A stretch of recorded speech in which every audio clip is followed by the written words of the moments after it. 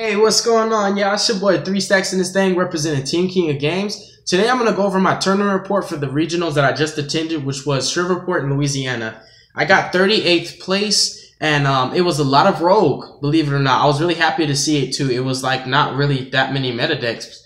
Like there's a lot of diversity, and I was happy. Um, and I'm gonna give you basically my my tournament report and my record. You already know what place I got, but I'm gonna explain the record and all that once I finish the deck profile. But understand that side deck, main deck, and extra deck are completely different from the deck profile I just showcased literally two or three days ago. Without further ado, we're gonna hop right into the main deck. We're gonna drop out the monsters and then I'm gonna kind of explain it as I go, but I promise I won't take so much of your time.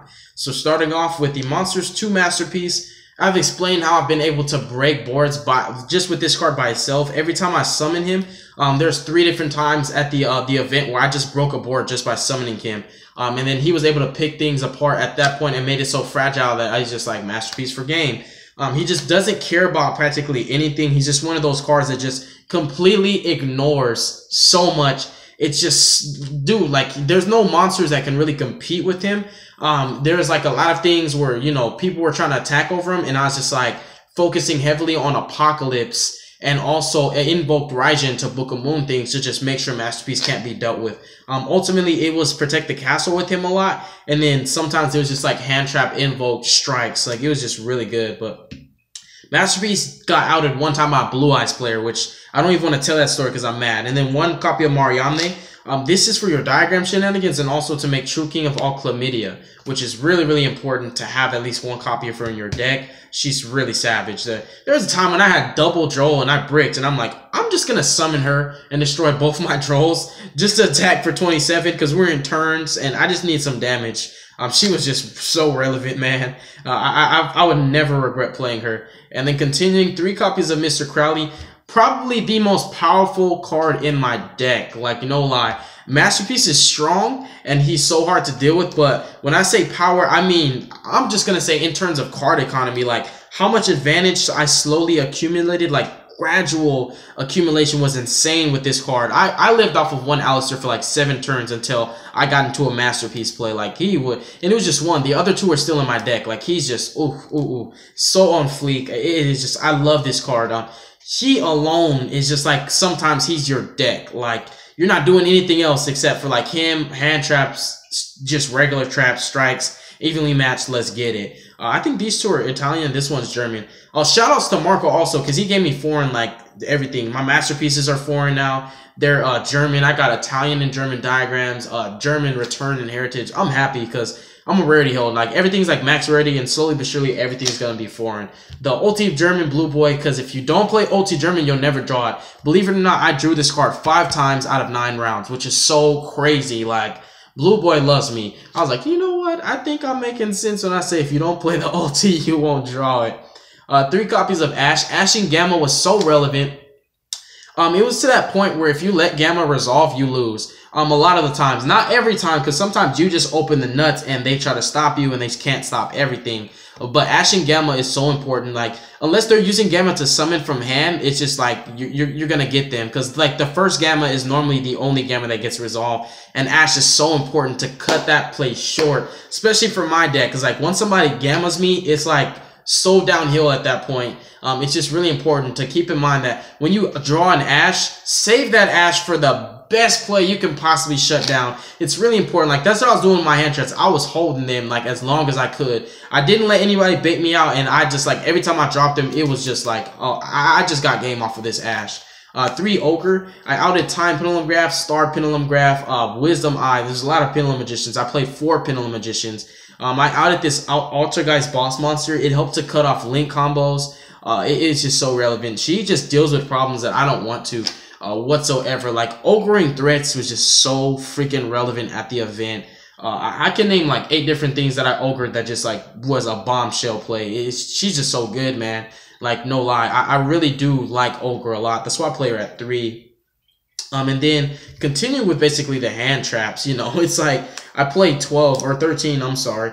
Three copies of Gamma. Everything that's not Aleister and Blue Boy is pretty much susceptible to Ash, Ogre, and Droll. Um, especially diagram. Like diagram and gamma is the biggest bait because like a lot of people, if they have an out to diagram, they don't let it go through. Some people, when they know what I'm playing, don't even let terraforming they go through because they know it can lead to like so many different things. So when you open up a terraforming diagram, you know, sometimes meltdown, somebody asked my meltdown. I guess he thought I already had invocation in hand. And at that point, I just needed an Aleister. So in his mind, I understand. He's like, if I don't Ash Meltdown. And I Ash Aleister, and he has Invocation. I've wasted my ass. So he Ash Meltdown. I'm like, Gamma for game. Like, dude, it, it just, Gamma was so crazy. I'm to stop explaining this card because I feel like I'm to go on and on about him because he's just so, he's so insane. Every time I resolve Gamma, I either won the door or I got somebody to the point where they're about to scoop. Uh, three draws, it's just like a loser turn. Um, two different times I acknowledged him. Um, I just spellbook acknowledged him. I was under mistake playing Paleos in a really awkward grind game where he had no like Paleo traps, just like mistakes and a dupe, and he couldn't add off a dupe. So it was like stalemate. And then I like normal summon Droll knowledge. He's like, you can't. I'm like, mistake says I can't add, but I can draw. And he's like, oh snap. I drew into masterpiece return. I'm like, all right, dude. Like all I need to do is just wait one turn, and like I, have got it, dude. It was just insane. Uh, Droll's pretty clutch, you know. He was more clutch when I acknowledged him than he was when I played him as a hand trap, but it's nice to have him.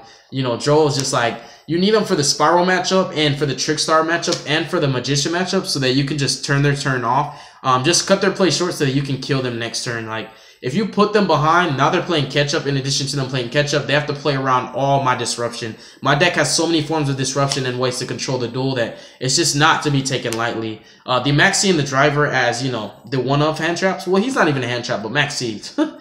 I wish I would have drawn this card when I needed him. I think I drew him as my sixth card like twice. And I was like, where were you when I needed you? I was like, why? Why now? I was not happy. but Maxi has to be played.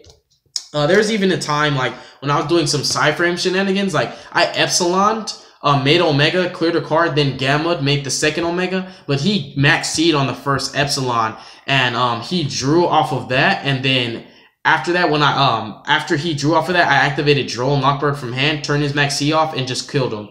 And I felt like if I wasn't able to do that, I wouldn't even have played the risk. I would have just kind of like stopped at that point because I wasn't sure if I was gonna kill him. But when I turned off the maxi, I'm like, I've committed so much, I have to go for the game. Like I have to go for the push, or I might lose next turn. Uh, three diagram, two Italian and one German, if I'm not mistaken. I'm happy about it, dude. Just, just let me be happy, man. Uh, one magical meltdown. Um, you can play two just to see Aleister more, but I just really didn't want to play um so much of the same card. I wanted to have, you know, open slots for my going first and my going second cards. Uh, three Optimus Prime for the shenanigans. Some of the best Gamma bait ever. Uh, honestly, just Ash bait and Droll bait as well. It's the best Droll bait. Everybody Drolls after terraforming. It's it's smart to do. Like, it honestly is. Because, like, if you let the field spell resolve for certain decks, like, your Droll is now, like, it's no point to Droll. You feel me? Like, there's a proper time to do it. Two secrets, you gotta play ulti Germans and you have to play ultimate terraformers or you'll never draw them. And then also two knowledge. Knowledge was amazing, even times when I drew it and I didn't have Aleister, like I said with the draw. Uh, the German heritage that I'm happy about. Uh, disciples, just play one and one. These three spells to me are garnets. So like there are a lot of times when I draw them and like it's the right time because I have the cards that are required for their situational, you know, requirements basically. You know, like you have the cards that are needed for them to resolve their effects. Um, but outside of that, they're like garnets in hand, if that makes sense. So I really don't like drawing these by themselves. That's why I only play one of each. Um, Invocation can never get Cyclone because I play Omegas. I can always put it back and then shuffle it. And then Raigeki. Dude, oh my god, this card loves me. Like, you, you gotta play the ulti Raigeki, fam. I'm telling you, you have to. That sums up the spells. Relatively, um, when it comes down to the main deck, I never really change the spells, but I'm always changing the monster and the trap lineup. Three evenly matched. This is either to bait out Scolding or I'm just to clear everything you have and leave you with one. Sleeper is so easy to deal with whenever I have Aleister, which I play three of. So it's not even a problem. Uh, evenly matched Trickstars, like, it's not always going to happen. Like, But if you have Ash for the reincarnation or Epsilon for the reincarnation, um, you, when you do Epsilon, you have to do Omega in your main phase and, you know, have no more monsters and no more cards so that you can evenly match again. But there are a lot of ways you can basically stop Reincarnation from going off in the Trickstar matchup, which I did. And then I evenly matched and then they just like, it was so downhill. Like, this card was just a blowout. Like, I never really drew it when it was bad. Like, even when I drew it and I was like having cards on the field, I would just set it And when I got into that situation, it's like, oh, I'm about to die. Like, if I don't get killed in battle phase, I'm like evenly matched and just like set the tide back in my favor. And then I play the full Solemn Brigade now. Um, believe it or not, there's so many cards that you can warning. It's just crazy. Um, Sleeper includes in a text that in his effect that special summons. Uh, Firewall Dragon includes a text in his uh, um, includes an effect in his text that special summons. There's a lot of cards you can warning. Warning Reincarnation, like I can name so many competitive cards in Yu-Gi-Oh right now that you can warning. You wouldn't even believe how I was using warning like a strike to negate. I wasn't even really using it on summons because there are so many cards people were playing that had effects in their text that warning could stop that is a little like a strike like i said. Like i use it so versatile. Uh, it was just amazing. Two apocalypse math that they're english and one uh, return. I'm happy about it being german though. Um so yeah these are my going first cards and you know like i have going second cards. So my deck's really versatile in that sense that it doesn't matter whether i win or lose the dice roll. In fact a lot of times i have like Aleister strike and hand trap. So it's like if i go first or second it doesn't matter. I'm doing really really well uh, let's see where things stand at the moment. Oh, looking pretty good. All right, I'm going to show you the side deck first because this is what got me a lot of my wins. Three raw spear mode. I actually never got to resolve it successfully. Um, like there wasn't a lot of Spyral players, and I only played one Spyral matchup, and I, I really didn't need the spear mode. Even though I sided and had it in hand, it was just icing on the cake. But I, I just demolished him. He really didn't stand a chance. Um, and it wasn't even like I opened up a hand traps. Like I literally just masterpiece Mechaba, and that was it. Like I had a strike that I never got to use, but Raw Spear Mode's there for those decks that overcommit. Uh, Ties of the Brethren place, Void Feast, believe it or not, is insane. Uh, there's like a lot of decks that, you know, believe it or not, they really do commit a lot. Like, they do. And some decks actually, you know, their basic playstyle is like summoning a lot of monsters, believe it or not. Uh, three Winter Cherries, I play like eight targets for it. This just comes up all the time. The newest edition, which put in a lot of work, was Epsilon. This card was just freaking redundant. Oh my god, like Epsilon mistake, Epsilon anti-spell, like when people try to stand by floodgate you, Epsilon uh, Imperial Order, skill drain, um, Epsilon, uh, like I said, mistake and um, also uh, anti-spell for like when I played Paleo and dude like had every freaking freaking floodgate in his main deck. Like he tried to stand by floodgate me. I'm like Epsilon, bam. Like it even came up like negating his Paleo traps, the Book of Moon, the MST, the Banished. Uh, I'm sorry, not the Book of Moon. It was the uh the I, I mistake the Book of Moon with Dinomischus. It was Dinomischus and Olenoides on my field spell. Like I'm like activate diagram. It's like all right, chain target. I'm like, uh, is there a cost for Dinomischus? All right, never mind. Just negate it anyways. And then like I'll make one Omega off of Epsilon, clear a card, and then I'd like proceed with the play, and then a hand trap comes my way, and I had Gamma in hand. Dude, I double Omega two people, and both times, no, one time it was a scoop. The second time, the dude decided to play it out, and I just OTK'd him anyways. I was like, man, oh man, like Epsilon is insane. Like the best way to use it is really on those standby freaking floodgates that shut my deck down. My deck just does horribly against floodgates. Like mistake was the bane of my existence. I'm like, dude, like this don't make no sense. Epsilon saved my life. Long story short. And you know, Epsilon reincarnation, stuff like that, time pendulum graph and the pendulum magician matchup, it's relevant. So it's just a really, really versatile staple. Uh, three anti-spell. I side in anti-spells and scoldings when I'm going first against virtually every deck that isn't paleo. And then the, the dark hole. Um, I was playing kaijus and I really want to find space, but my side deck is always changing. This deck is always changing. Every time you see it, it's not the same. Even if you see a lot of the cards, like the compact the core engine is always going to be the same because you kind of have to play, you know, Masterpiece and Invoked for this deck. But um, outside of that, like, stuff is changing. You know, I switch around things. Uh, extra deck, True King of all chlamydia and syphilis, the diseases that people don't want to catch. Three Mechaba, these are the MVPs, Mechaba and Omega. I played two um, in playtesting with Epsilon and Gamma. Two came up a lot, like where I'd open up with Gamma and Epsilon.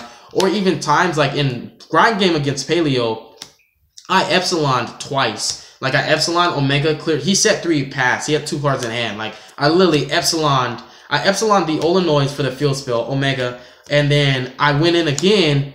And um, I think the other time was no, that's what it was. It was standby on his when he standby mistake. I Epsilon him mistake. Um, and then made Omega in my main phase cleared and then I played my diagram and he tried to chain Olenoides and then I epsiloned again and the dude was like, all right, good game. Um, I took two of his face downs and two cards from his hand. He was sitting on one set. He had nothing else left. It was like he was done. Like, oh my God. Omega was just MVP, dude. I even used him to put back two of my diagrams back into my deck. He shuffles any card and then tell me why I drew a diagram. I'm like, Omega's a freaking beast, dude. Uh, two Raidjin. Raidjin is just part of the control aspect. I try to open up with as much forms as disruption as possible. Like, I look at it like this. This is a threat. So if I have like Masterpiece, Mechaba, Strike, Ash, or Droll, or Ogre, like every single one of those are threats that my opponent has to play around. And when you're playing around cards like that, you're costing resources from your hand, which means you can't overcommit anything. And if you don't have anything left over after you're done, like playing through all of that I have,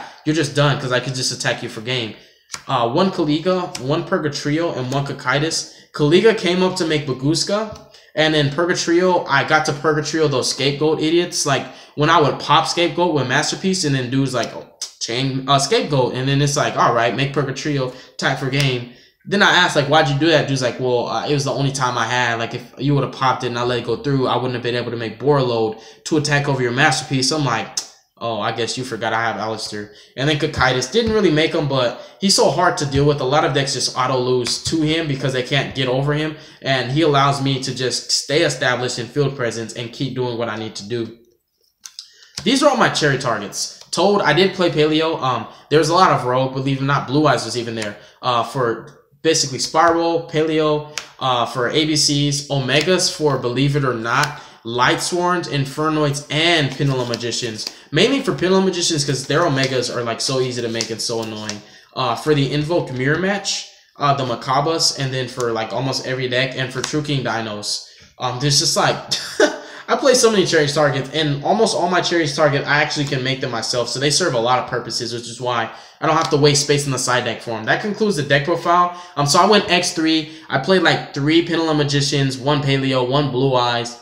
I played like um Trickstar. I played Invoked. I played against one Spyral and a True King Dino dude who ran like Foolish Burial Goods and uh Survivals and to like send it, pop a baby and a card and just go off with this combo. And I forgot what I played round one because, um, matter of fact, he didn't even get a chance to play. I never knew what I was playing because game one he scooped on my masterpiece, and this was round one. Game two he like sided in. He said a bunch. I thought I was playing paleo. It wasn't. It wasn't paleo, but I never knew what I was playing um because I just too old him and never got to see what his deck can do.